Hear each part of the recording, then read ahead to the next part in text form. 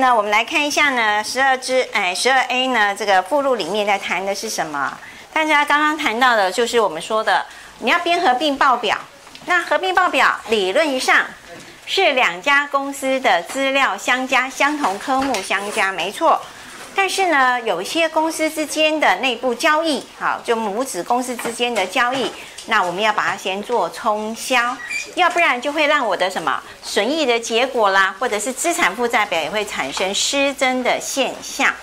那课本上举的一个呃，就是谈到的它的合并的问题哈，请你看一下呢，呃，看一下在我们的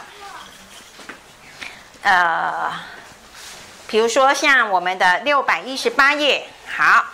六百一十八页呢，他先讲说，好，假设，好，这个，呃，二零一七年的一月二号，那 P 公司呢，他卖付了一百，哎，十五万的英镑的现金去取得百分之百 S 公司的股权，好，然后呢，这个 P 公司呢，对于这个投资呢，它是按照它的成本入账，哈。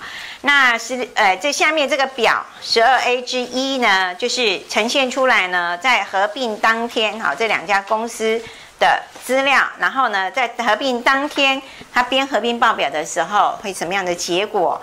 所以可以看一下呢，两家公司，哈，因为这是合并第一天，所以两家公司之间还没有内部交易发生，只有母公司 P 公司投资子公司这个呃交易发生而已。那你可以看呢，这个 P 公司呢，它原来的。Plan and equipment 有三十二万五千，那 S 公司有十四万五千，合并起来就四十七万。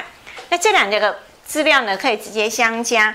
但是接下来你看呢，投资 S 公司它付了十五万的英镑，但是合并报表里面这十五万的英镑就不会出现在它的合并报表里面的流非流动资产的科目。为什么？好，待会我们去解释。那你可以看呢，这个资产。比较特别的地方是，原来 P 公司呢一开始投资了之后，它是不是有投资子公司这个科目在它原来的账上？所以你可以看呢，在右手边 P 公司原来的账册里面，它有个 Investment S 公司，好十五万。但是你看右手边的合并，好合并之后呢，它的这个呃这个投资 S 公司呢为零。所以合并报表上面的它哎，这个投资子公司就会不见了。然后再来看一下其他科目是相加，因为我说了，两家公司在合并当天呢，它除了母公司投资子公司之外，没有其他的交易发生。那这一天我如果立即编合并报表的话，合并报表上面不会有母公司原来账上所承认的 S 公司，这是第一个你要留意。那第二个，我们来看一下。它的投它的负债也没什么问题，因为两家公司没有什么债权债务，所以也直接相加。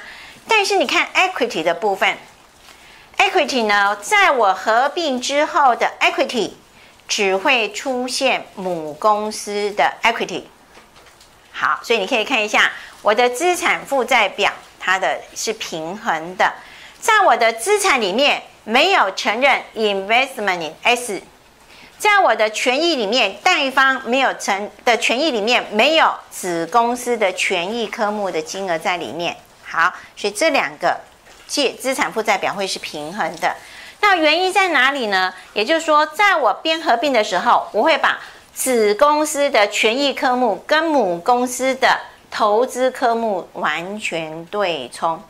啊，而且因为母公司是百分之百持有子公司，然后投资的时候，它所投资的金额就刚好等于子公司的账上金额，所以两个对冲。所以你可以看一下，在我们的这个十六哎十二 A 之二，这个是一个工作底稿，也就是说我们在编合并报表呢，我们会把两家公司的合并前的报表先放在这个左边。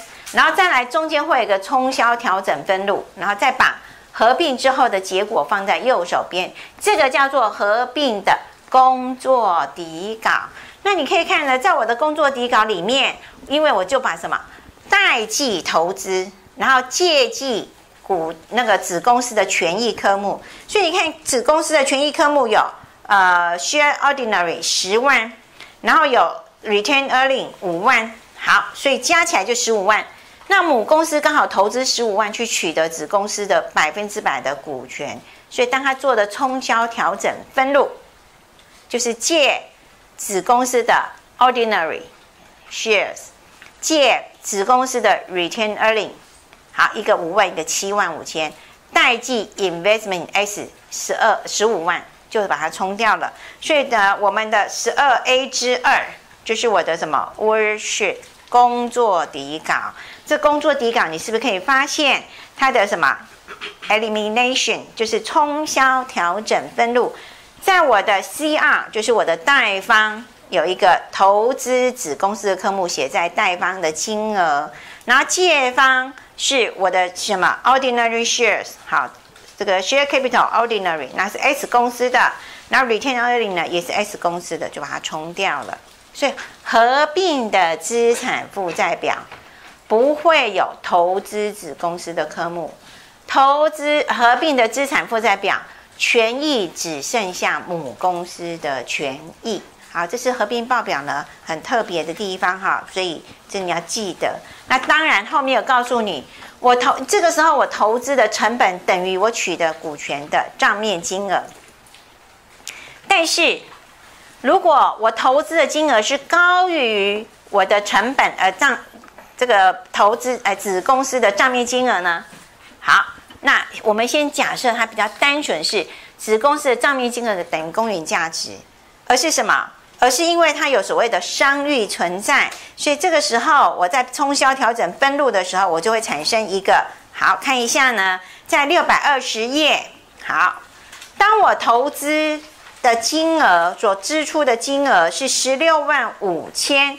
而我取得它股权的金额只有十五万，所以多出一万五千。当我在做冲销调整分录的时候，我就会产生一个六百二十页的十二 A 之三的工作底稿，是不是有一个什么 SS of cost over book value of subsidiary？投资成本超过子公司的账面金额一万五千，那这超过的部分就要看。子公司的账面金额跟公允价值有没有相相当？如果不同，可能我会去做摊销。好，这个后来未来我们在做讲那个呃高快里面就是在谈这个问题。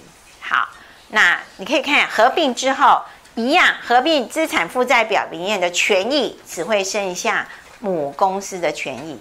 所以十二十二哎十二 A 之三跟十二 A 之二只差在哪里？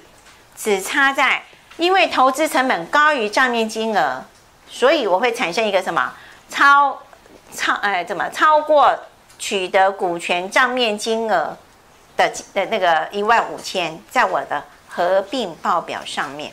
好，但是不影响合并之后子母公司的投资子公司的科目就不存在了。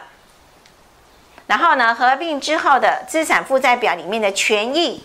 只剩下母公司的权益，好，所以你可以对照一下，在呃十二 A 之二跟十二 A 之三，只差在哪里呢？只差在在合并之后，我多了一个一万五千的超，哎，或者叫做超额投入好了，好，暂时用这个名称。那当然，我投资的金额可能高于账面金额，也有可能低于账面金额。好，那如果低于账面金额，而子公司的账面金呃这个资产负债的账面金额等于公允价值的话，那我投资成本比较低，低于这个低于它的账面金额的部分，我们会产生廉价收购利益。好，这个这高会里头会去谈这个事情。那课本上面并没有去谈，如果你的投资成本是呃低于它的公允价，呃低于它的账面金额的，课本上面的六百二十页只讲到我的成本是高于账面金额。好，那我就会产生一个超面超这个呃超过取得股权账面金额好的一个过渡性的科目，这是一个过渡性的科目，因为。合并报表里头，我一定要出现的是你超过成本的，哎，成本超过取得股权账面金额的原因在哪里？原因在哪里？好，如果子公司的账面金额跟公允价值一样的时候，那我超过唯一的原因就是什么？商誉，就是商誉。好，这个时候我们记得在讲无形资产的时候有提过了，商誉一定是合并而产生的。回忆一下，我们在讲无形资产的时候，我们有提过 goodwill 这件这个科目。这个科目什么情况才会发生？当两家公司合并才会发生，才会商才会有产生商誉。好，那这个商誉就是因为当子当投资者所付的成本超过取得可变被投资公司可辨是净资产的公允价值。好，如果大家有点忘记的话，请你回去翻一下。我们在讲无形资产的时候，有特别提过商誉这个东西。商誉是合并而产生的，两家公司合并而产生的。好，这是六百二十页，它只是没有先去，没有去往下去解释这个成本超过取得股权账面金额的一万五千的原因是在哪里啊？因为它只是告诉你说，它这边只是要传达。一个意念，好，这一个意念呢是第一个，因为这个意念之下呢，就是说它只要主要要传达是合并资产负债表的权益，只会有母公司的权益。那因为只会有母公司的权益，所以那子公司的权益跑去哪里呢？因为它跟母公司原来投资子公司的科目对冲掉了。好。所以其实，overall 来讲，结论，合并资产，当然两家公司要边合并，合并的结果，在我的权益科目底下，只会剩下母公司的权益。那你会问，子公司的权益跑去哪里了？因为子公司的权益跟母公司的投资子公司的科目对冲掉了，就冲掉了。所以十二 A 之二，它是不是有把？投资子公司的十五万，跟子公司的股本五万，保留盈余七万五千对冲。好，十二 A 之三一样，投资的金额，投资子公司是十五六万五千。那我除了冲掉子公司的权益科目七七万的保留盈余五万的股本之外，那我是十五万冲掉就十五万呢，所以我还有一万五千就会出现在十三。A 之哎十二 A 之三出现的什么超过哎成投资成本超过取得股权账面金额一万五千就出现在那里。我只是告诉你说，哎，我们现在只看到这个科目摆在这里哦。但是我说了，在你的合并报表上面不会这样子一个科目在那里，因为你一定要去分析，一定要反映出或说明这个一万五千为什么会多出一万五千。好，为什么会多出这一万五千？好，这是高会里头会往下去谈的。好，所以这就是先高，所以这里呢就稍微提一下这样的概念就好了。好，这是第十二章。好，那我们接下来呢，呃，因为这个企业合并呢，呃，只是把它传导一些概念而已哈，所以我们就呃，好，我们来看一下好了，我们再讲一下这个例子好了，从十三，哎，十二至三到十四。十四十二之四哈，看一下呢，六百三十页，我们很快的把这个例子带过去，让大家了解一下这个合并到底在做什么。好，六百三十一页呢，他说，二零一七年的一月一号，L 公司呢，他取得百分之百 O 公司的股权，用二十二万，好，in cash，用现金哦。所以呢，好，后后面看他的资料了哈，他说呢，这个呃，我们要编他的一个报表，就是。他的整合性的报表如下面哈，那这两家公司呢，在它合并之后，好，立即出现的结果是这样子的。那第一个呢，我们去编合并当时候的呃工作底稿，好，合并的工作底稿。所以这个例子，我要编它的合并工作底稿呢，就像我们前面所写的，十二支，哎，看一下哈，我的投资的二十二万。那看一下呢，它的金额，业取的百分之百，然后呢，子公司的股东权益的金额有多少？好看一下，在我们的六百三十一页，股东权益是股本加保留盈余是什么？二十二万。好，所以他花二十二万取得他百分之百的股权，所以完全一样。所以你的工作底稿呢？好，呃，为了我不要写那么长哈，所以我只写它的冲销调整分录，那你把它腾到你的工作底稿就好了。好，然后呢，我们的工作底稿是借它的 share capital。好，这是 ordinary。好，那金额是多少呢？子公司原来的八万，保留盈余 retain earning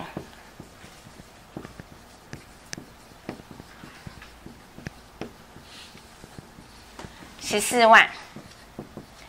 那母公司账上是不是有个 investment？in L 公司二十二万，所以呢，你只要把我的这个冲销调整分录，把它谈到像 problem，哎，不是 problem，我们的课本上面的那个 illustration 啊，illustration 的那个示例十二 A 之二那个工作底稿，把它写在它的冲销调整分录的栏位，只是它不用你写科目了，因为它的左边已经有科目了，你就把金额乘上去就好了。好，那你就完成了它的什么？它的合并的工作底稿。那再来看一下呢？十二至十四，好，他只告诉你说什么？只改变了一个什么？他说呢，两家公司的资料，好，就跟十二至十三一样，只是什么？呃，他付二十二万的，呃，二十二万五千，好，也就是说呢，他只是投资的金额不是二十二万。而是指母公司账上有投资 L 公司的金额是二十二万五千，但是子公司的权益科目也就二十二万而已啊。好，那多出来这五千，如果从十二 A 之三来看，它是不是一个什么？一个 SS cost，就是 SS of cost over 那个什么它的 book value。好。那现在呢，我们来看一下呢，它给我说这个只是一个过渡性的科目啊，到底这是为什么产生？它投资的金额会超过啊，超过它的账诶账面金额呢？好看一下这个例子里面，他说呢，好，他呢这个诶，他付了二十二万五千，好，然后在取得当天他的资产 L 公司的资产，好，他的流动资产是五万五千，然后呢投资 S 公诶，这是投资 L。O 公司，对不起啊，是 L 公司投资 O 公司哈，是我写错了哈，L 公司投资 O 公司，好，这个是他的投资公司是呃被投资公司是 O N E 哈，O N O，好，这是他投资的公司的名称。好，那说呢，投资二十万五千，然后他的 Plan Assets 呢，Plan and Equipment 是三十万。好，那一样我们要去做他的什么？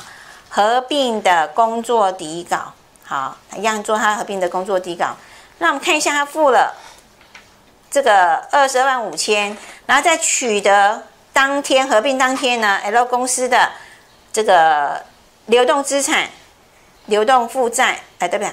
投资 L 公司，然后他的 Plan Assets，好，其实他这里没有去解释为什么他投资的金额超过啊，超过他取得可变式净资产的金额，他没有讲哈。所以它的 plan assets 一样三十万，然后它的什么？它的呃这个流动资产，对不起，只是把它的流动资产从六万改为五万五千，因为多付了五千，所以它全其他的金额都完全一样。那所以它合并的时候呢，因为子公司它一样股股那个股东权益的部分，权益的部分还是只有什么二十二十二万而已，所以我们就写就是我一个什么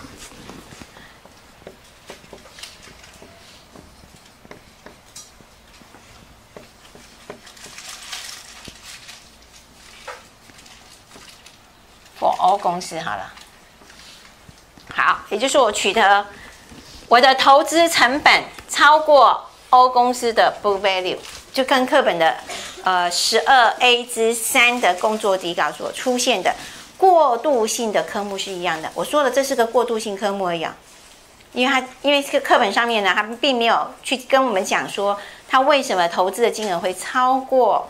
他的账面金额，他没有讲，没有讲，我们就没有办法把它界定这个超过的原因是什么。好，如果它的账面金额等于公允价值的话，如果是这样子，好，如果是这样子的话呢，那我这个科目最后的结果，如果是这个样子，哈，像课本像我们这样讲说，如果的投资成本是超过。O 公司的公允价值，可变式净资产的公允价值的话，如果是超过这一个，我们就会把它写成什么？商誉。好，但因为课本上面没有交代为什么会多出这五千块，然后因为他也没有跟我们讲它的账面金额等于公允价值，所以我没有办法去界定它是一个商誉，所以我们用这个科目来过渡。好好，所以如果你去看答案的话，应该是跟我写的是一样的。好，这是我们的这个 exercise 十二至十三跟十四，好所举的例子。好，这是合并，哈，只是跟你，其实这个例子也很简单，只是告诉你。两家公司合并的时候，这是最基本的，请你要记得，两家公司合并，当母公司持有这个，会有叫母公司叫子公司，基本上一定什么，母公司这个母公司持有子公司的股权超过百分之五十以上，它就拥有控制力。好，那当然不见得说你超过五十 percent 以上一定有控制力哦。什么情况之下？母公司持有子公司的股权超过五十，甚至百分之百，可是它没有控制力。什么情况之下会是这样？子公司的股权都被母公司百分之百持有了，但是母公司对子公司没有控制力，怎么会有这么神奇的事情？这到底发生了什么事？有没有想过？有没有想到可能发生什么事情？哈？政治介入。好。政治介入。哎，有一点点像是这样，可是又不太讲。这个政治介入有时候是被动，有时候是主动。我们现在这个说，他的应该是说司法介入。主动司法，哎，这个主动司法介入，所以这主动是公司主动去做这件事情的。公司为什么主动会做这件事情呢？当公司重整的时候，公司要重整，去跟谁申请？不是跟经济部，是跟法院。所以当公司他要重整的时候，去跟法院申请，那。法院是属于司法，所以它叫不叫政治？嘿，所以我刚刚讲说，我觉得应该叫做司法介入，而且是公司主动要求司法介入。为什么公司会主动要求司法介入？啊，你不要说啊，因为前一阵子不是什么红海的采购嘛，还是什么，反正就是有发生那个收贿的情形哈，不是政府官员会收贿而已哈。公司的这个采购人员哈，也是有收贿的情形，所以呢，这个前一阵子也闹出蛮大的吧哈。这个红海就请司法部门介入去调查这件事情，但是他去调查这件事情啊，那红海有没有让那个司法部门、法院去接管？没有啊，所以他只是叫调查这件事情，但是并没有影响红海本身的主那个自主权。好，所以但是呢，当公司去法院申请重整。那申请重整的时候呢，法院接受之后呢，他会主动，他自己会找一个重整人，好，或者重整管理人员来这个审视一下这家公司有没有重整的可能。好，就是说他如果已经病入膏肓，那就算了吧，重整也无效。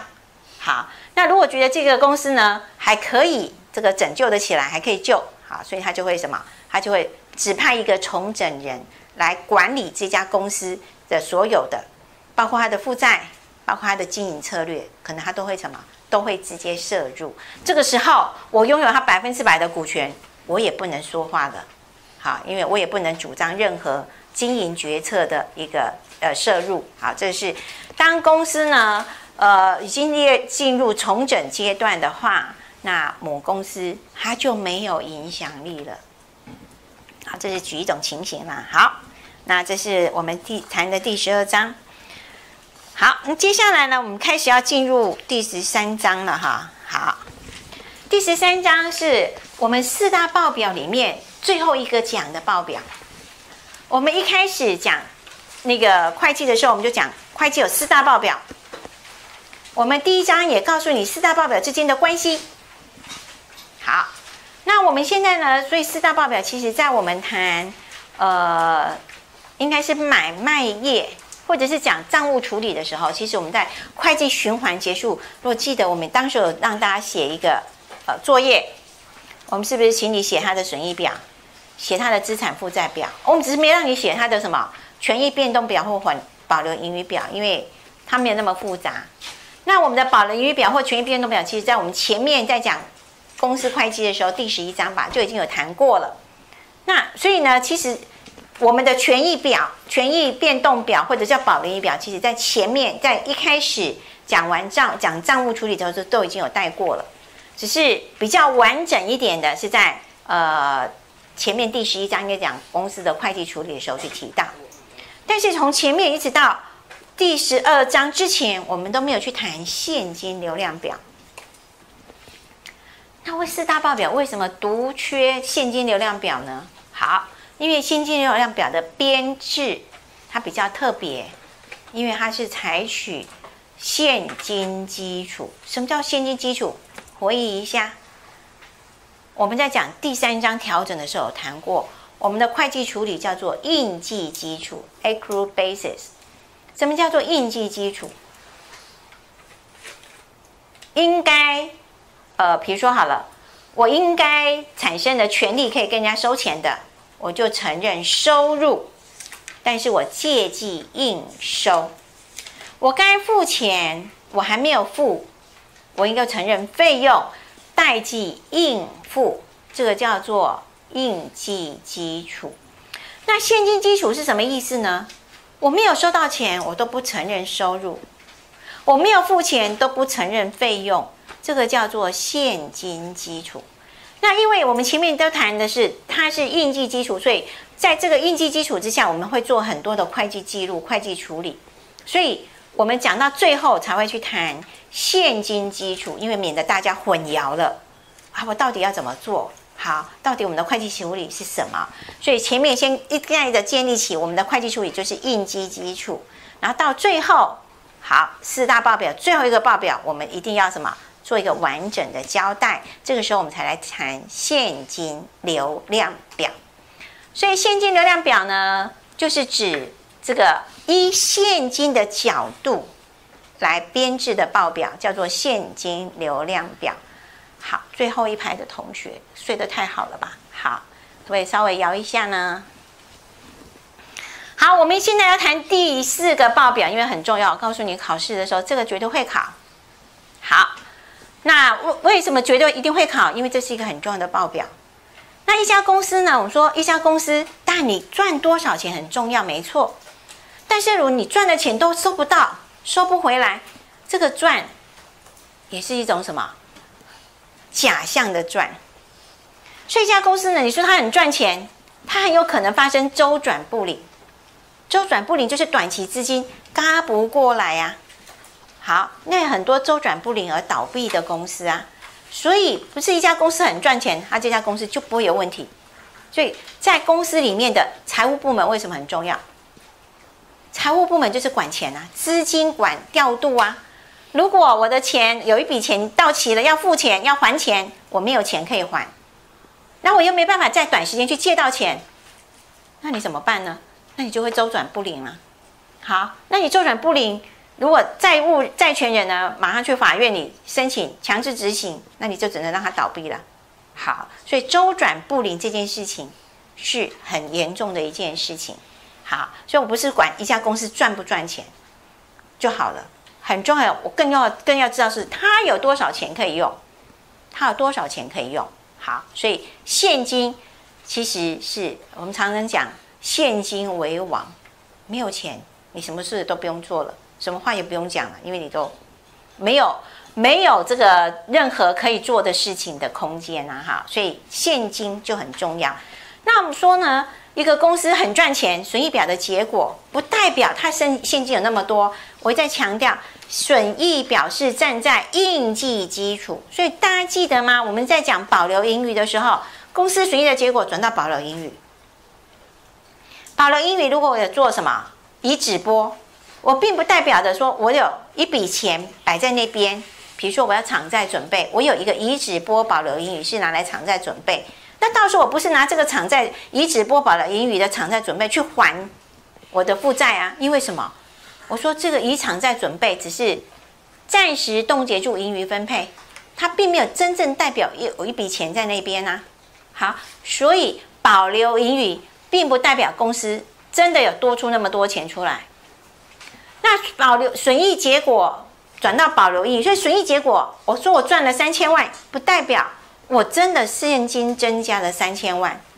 所以我要去查，我要去了解是，那到底这家公司一直都说它赚钱，好，它每一年都赚钱，三千万、五千万、一亿的，为什么它的现金永远一直都是只有几百万而已？哎，台积电很有很多现金，几千亿的现金，所以台积电它可以什么？可以发放现金鼓励，他可以做很多的事情，因为他手上很多现金，满手现金。好，所以很多公司它的盈盈余那个每股盈余一直不好的时候呢，他就会开始谈，他就会想着我要去减资，因为手上那么多现金。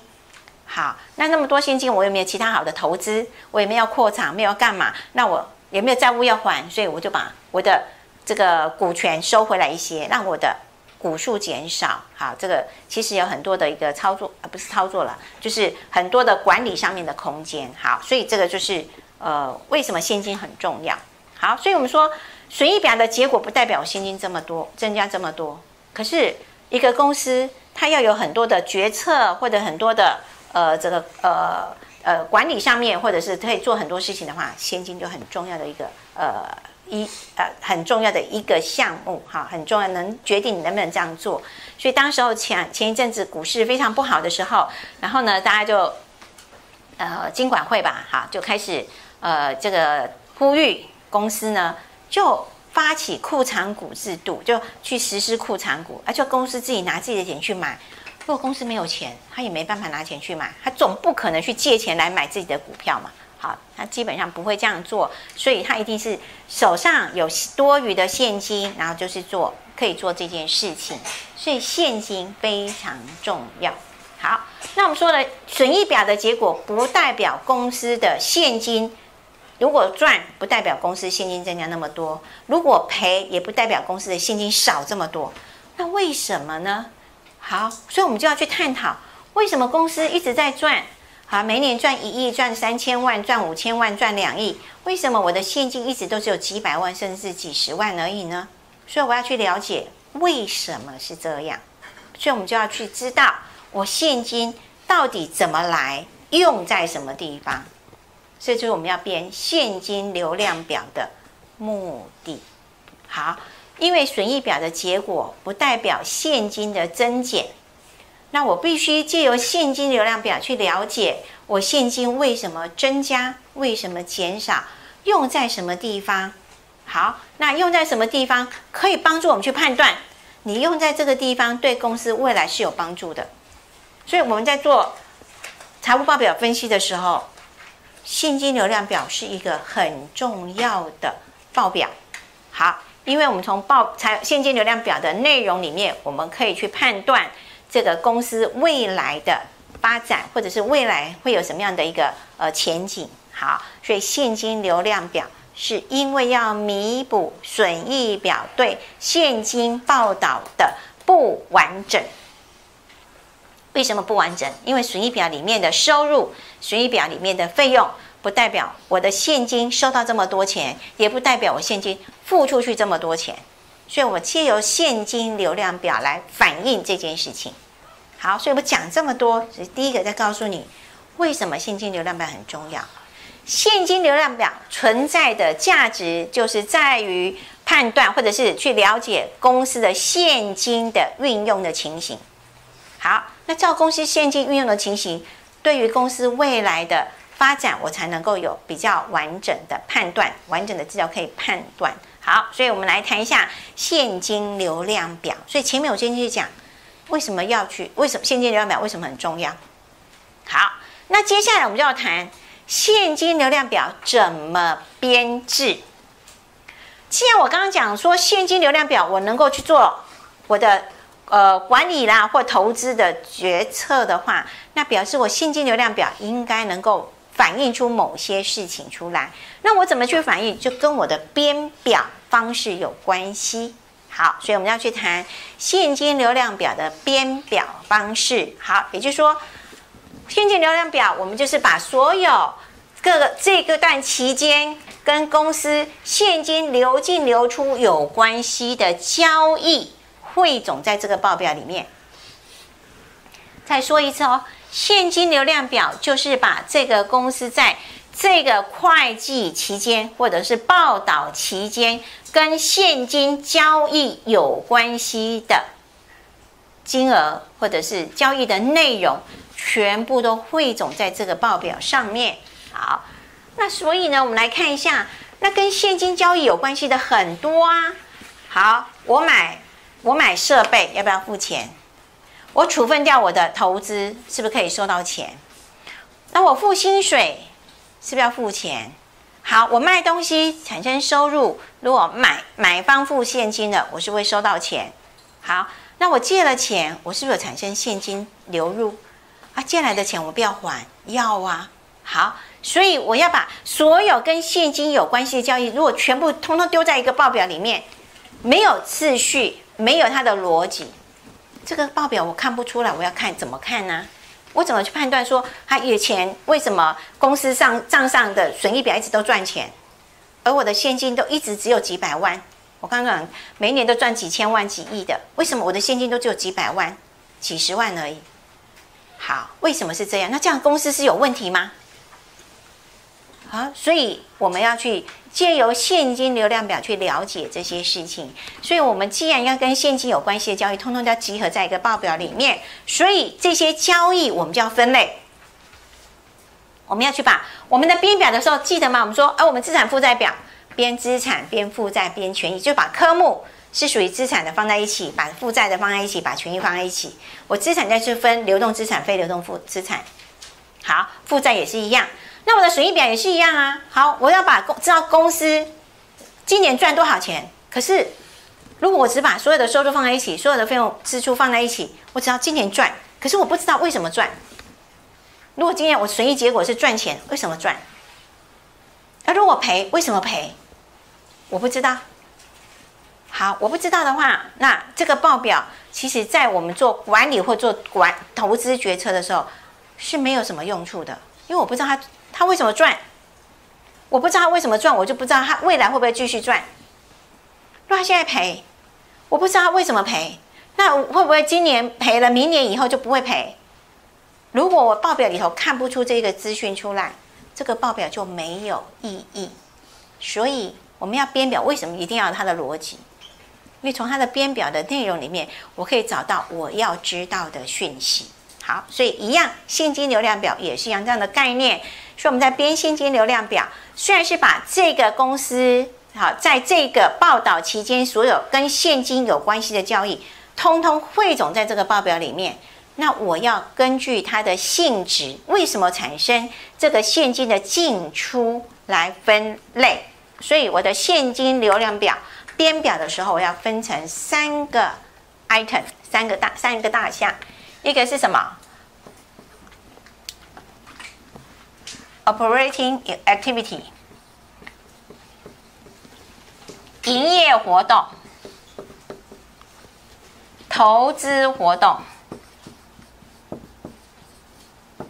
融资活动。好，我们现在国际会计准则呢？诶，有人把它翻译成筹资活动。好，在中文有时候它叫做筹资。好，但是跟我们讲的融资其实是类似的。好。那我们叫 financing activity、investing activity 跟 operating activity 这三类。好，那我们现在解释了，既然所有的交易跟现金有关系的，我都要把它分成这三类。那我要先去分类哪一类交易算哪一种啊？好，哪一个交易算哪一种？所以基本上我会先从这两个开始谈起，因为这两个比较容易去界定。这个交易的发生，只要你确定它不是 investing，不是 financing，它就是这个。好，因为这两个分类它是很明确的，只要不是属于 investing，不是属于 financing，它就是 operating activity。好，第一个来解释一下什么叫 investing。好，我们才会前面才第十二章讲过 investing。只要你是投资债券、投资股票，你是投资呃 held for collection，你持有的债券是持有到它的到期日，或者是我是什么长期股票的投资，长期的就权益法之下的投资，只要叫做投资，毫无疑问，当然是 investing。所以第十二章所讲的这些交易的内容都算是这个，但是除了第十二章所讲的其他呢，还有没有其他呢？有哦，比如说我买机器设备，你为什么要买机器设备？买了我才可以生产嘛，生产出来的产品我才可以卖嘛，卖了我才可以有收入嘛，才会赚钱嘛，所以这些都算是 investing activity。所以我投资，我买不，哎，买房屋、买设备、买机器设、买运输设备、买生产器具，都算是我的 investing。但是我买当然说什么？理论上，如果你还没没有说你赊账就是付钱，所以你买会造成 investing activity 的现金流出。那我当然会卖呀。我买进来的，如果这个设备我觉得太现在不好用了，我要把它卖掉。出售我的这些投资的项目，如果出售，就会产生我的什么投资活动的现金流入。所以，我们就要去界定的是哪一个东西，哪一个标的算什么。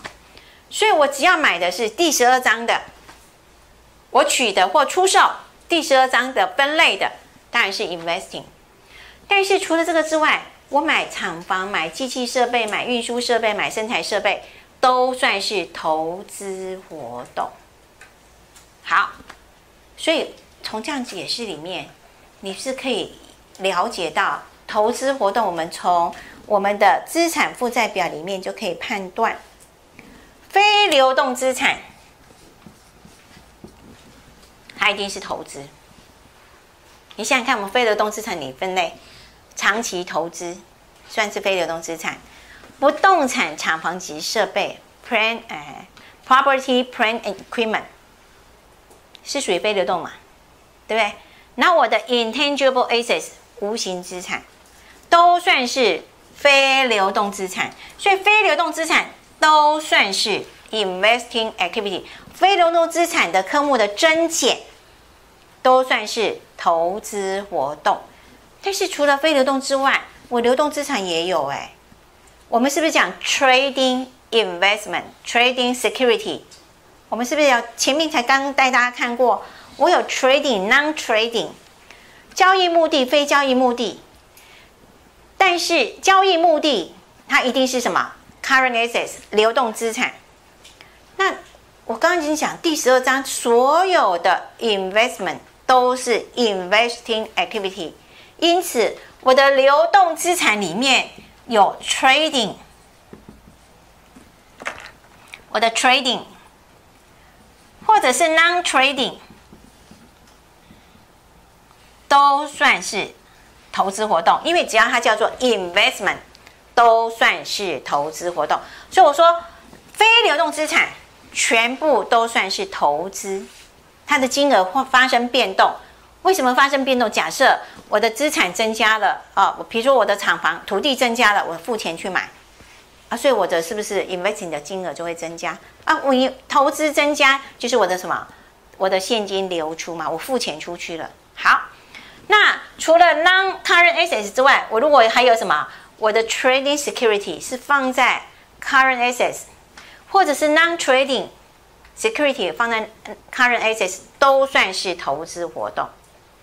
好，所以从资产负债表里面，我们去分找出它的变动。好，其实这边我要跳过一个东西，也就是说我要编财现金流量表的时候，需要哪些的材料？我们要编损益表、资产负债表，是从我们账册里面的分类账来的。我的分类账里面说我的销货收入有多少，我的销货。呃，我的这个进货金额有多少，或者是我是用永续盘存制的存货金呃销货成本有多少？我把这个总分类账分类账的金额直接编到报表里面去，我就可以编出我的损益表，对吧？好，所以我的资产负债表、现金哎那个损益表，其实都是什么？都是从我的分类账来的，总分类账来的，从我的账册来的。但是我编现金流量表的时候，我不去看我的分类账，我不去看我的账册。我现金流量表的编表的时候，是从三个报表来的，我是从报表里面去找到资料的。所以我编现金流量表需要三个报表加上一些补充资料。三个报表哪三个？期初、期末的资产负债表就两个了。期初资产负债表、期末资产负债表。还有当期的损益表，我借由这三个报表来编我的现金流量表。好，那当然有些东西可能你要补充，我可能才会更清楚它的交易的内容。好，所以这三个报表，我们先从资产负债表里面去判断资产为什么要期初跟期末，因为期初跟期末中间如果不一样。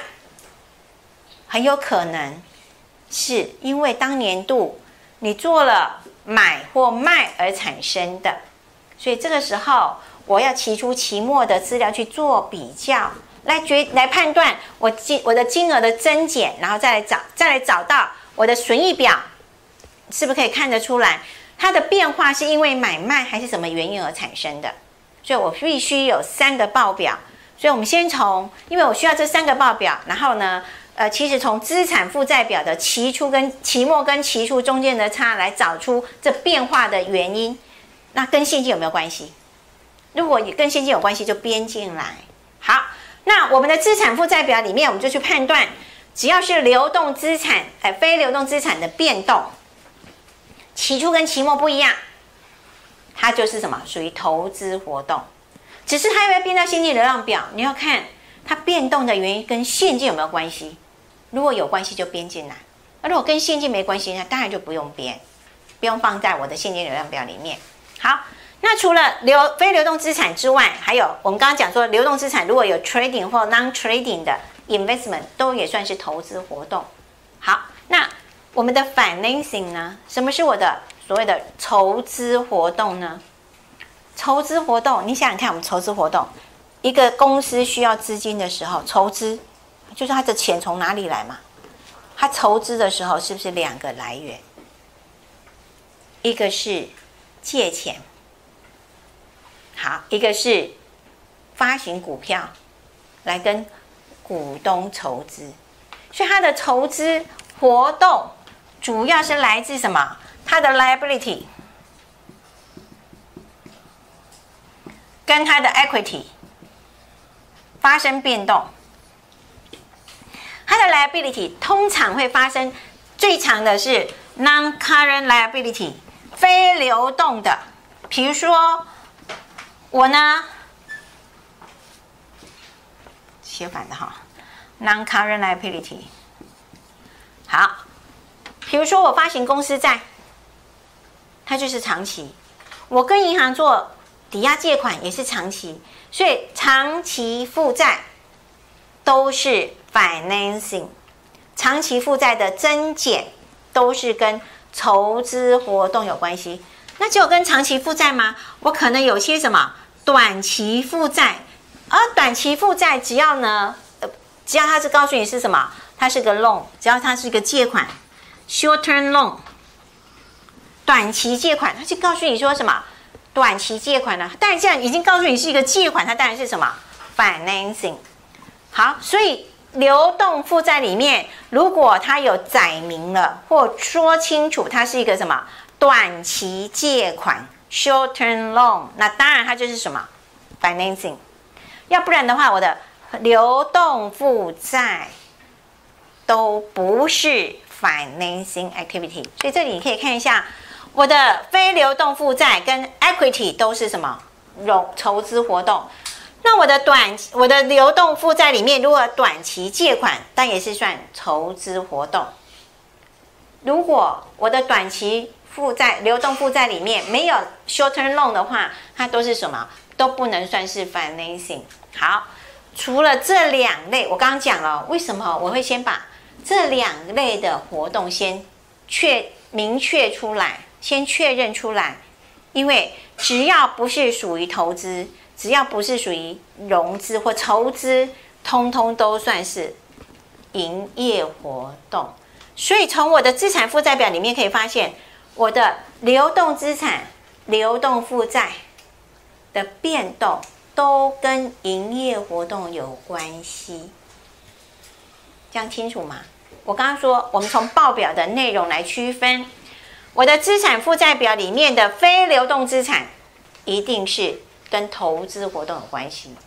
那我的流动资产里面如果有 trading 或 non-trading 的投资，当然它已经叫做 investing 嘛，它当然跟投资活动有关系。所以流动资产里面除了我的 trading、non-trading 的投资之外，其他的变动都跟营业活动有关系。那我的资产负债表里面的长期负债跟我权益金额的变动，都跟我的筹资活动有关系，跟我的 financing 有关系。我的流动负债里面如果有短期的借款，除了这个之外，那也要告诉你是短期借款，它当然是跟融资有关、筹资活活动有关系。除此之外，我的流动负债。都算是跟营业活动有关系。好，所以我先把它区分出来了。我先告诉你第一个概念，我的编制现金流量表，它是什么？站在现金基础，跟我的损益表站在应计基础是不同的。第二个，我编制现金流量表的时候，需要三个报表加上一些补充资料来的。所以它跟损益表、资产负债表从总分类账、分类账来的不一样，它是从现成的资料里头再来编。好，然后再来告诉你说，资产负债我需要三个报表，资产负债表里面先去判断属于非流动负债、非非流动资产的变动，只要跟现金有关系，我就编在现金流量表的投资活动。好，那。当然，流动负债、流动资产里面如果有投资科目，也跟投资活动有关系。那我的长期投资、呃长长期负债跟权益科目的变动，也都跟 financing 有关系。那除了这个流非流动负债跟权益科目之外，如果我的流动负债里面有短期借款，也跟什么 financing 有关系。除此之外的流动资产、流动负债，都算是跟营业活动有关系。